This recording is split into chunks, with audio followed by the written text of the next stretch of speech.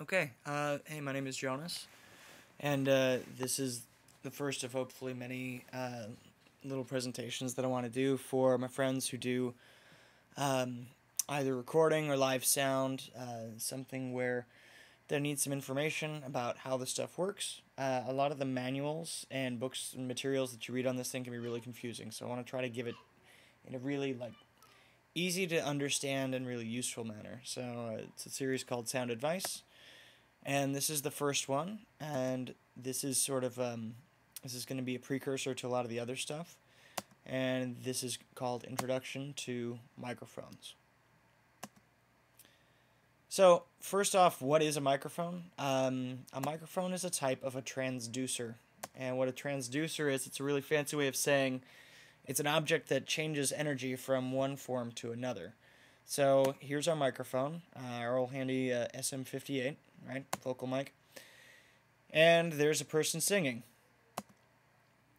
So when a person sings, it causes fluctuations in airwaves, uh, what we call acoustic energy. That acoustic energy then travels into the microphone, and the microphone now converts it into electrical energy. Um, but unlike the real steady waves of electrical energy that will cause this light bulb to turn on, uh, a human's voice is going to fluctuate with different um, different variables, which are going to cause different frequencies. So it doesn't provide a um, it doesn't provide a, a static charge. It's a dynamic charge. Uh, when we look at it, it uh, gives us this thing called a waveform. And so this is what it looks like. So there'd be a lot of different variables. If our light bulb was being powered with this, it would fluctuate with being on and off. Uh, for a light bulb, no good. For guys who do music, it's great. So, here's our friend the microphone. And microphones have certain characteristics. The one that's sort of important for our introduction is the polar pattern what the polar pattern is, is the way that the microphone picks up sound around it. So, um, this microphone is a vocal mic. It has what's called a cardioid pattern. Uh, cardioid sounds like heart, and that's the reason why, is because cardioid is a heart-shaped pattern. You can see it here. Um, and what it is, it's going to pick up things that are mostly aimed at the front of it, but also a little bit from the back and sides, and virtually nothing from uh, from directly behind it. Uh, this microphone is also called unidirectional, meaning it picks up sound the best when it's coming from one direction only.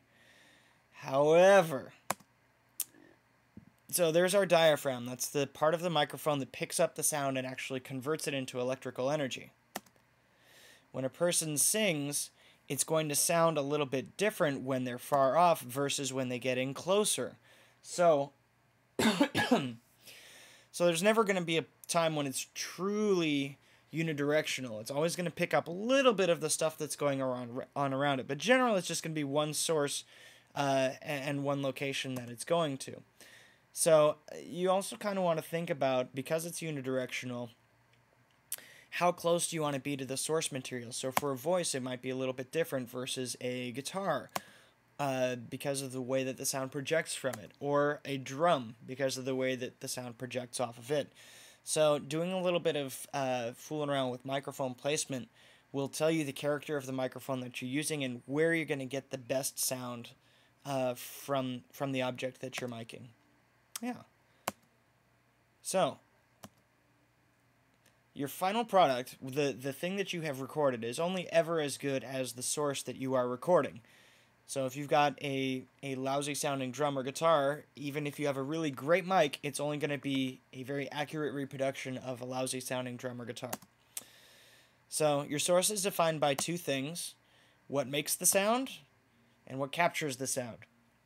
Uh, there's a lot of different microphones that are out there, and each one has a different job. So uh, our friend the SM57 is designed to be more of a instrument microphone, versus the SM58, which is designed primarily for vocals.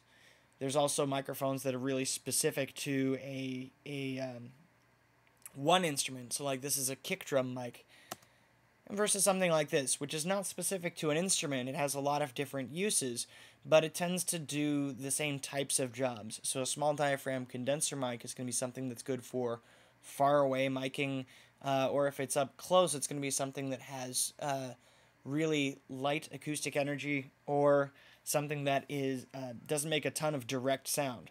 So like hi hats, acoustic guitar, choir mics, those are things that you'll use a small diaphragm condenser for more often than not. So here we have a nail, and the reason that I wanted to bring this analogy up is because there's a couple of ways that you can get this nail uh, to do its job. You can use a hammer, which is sort of the, the right idea, or you can use the back end of a screwdriver. So obviously, the, the analogy that I'm drawing here is that if we have a job to complete, we always want to try to use the right tool for the job.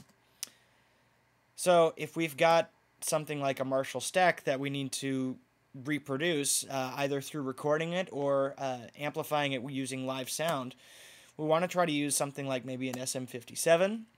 Uh, another really good choice is the Sennheiser MD421.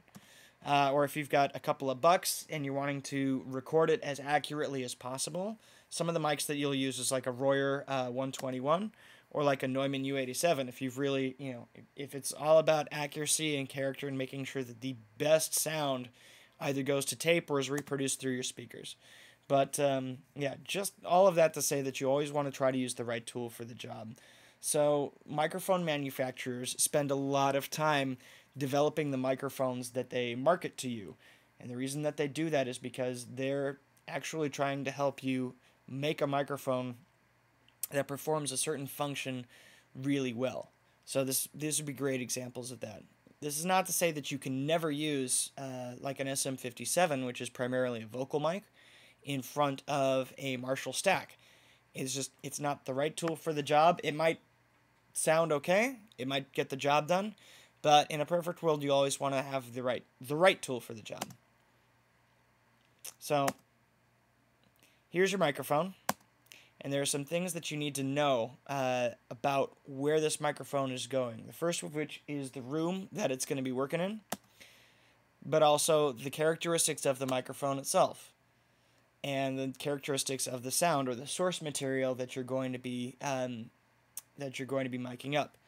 So, sort of important, the room I wanted to bring up primarily because the room is going to affect your sound, your source material, and it's going to affect the microphone. Uh, just because if you're in a small room, the microphone's going to pick up a lot of the stuff bouncing around. If you can be in a big room, not so much. So, with the mic, you'll want to understand the frequency response of the mic, meaning how well does it pick up highs, how well does it pick up lows. Uh, you'll also want to know what kind of polar patterns it has. We had touched real briefly on the cardioid polar pattern, which is real common in what's called a unidirectional mic, a mic that picks up from just one place. The polar patterns can also affect the sound that eventually goes to tape or is reproduced using your live sound stuff. And also, you'll want to know whether the microphone that you have is a dynamic mic or a condenser mic. A dynamic mic is reactive meaning it only changes when something hits it, like uh, when air hits it, versus a condenser, which is actually always moving around and a much more sensitive microphone, but maybe not one that you'd use in something uh, in, in certain situations. You also want to know the sound characteristics. Uh, so the SPL of the source. SPL stands for sound pressure level. Uh, if you're miking up something that is going to be super loud, like the Marshall stack in the last example, you'd probably use a different mic than if you were miking a you know a flute or an acoustic guitar or something like that.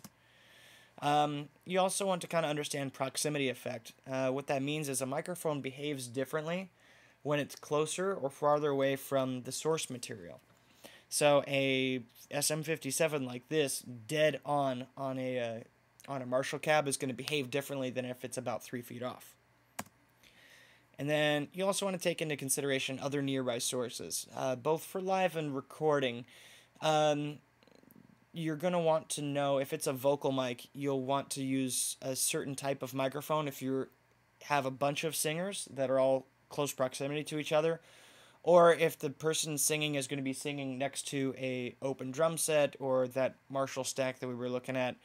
Um, yeah, just knowing about your other nearby sources is really going to help you pick out the right tool for the job. So next time we get together, uh, we're gonna get a little bit more into the how and why, uh, how you pick out your microphones and why you would do it.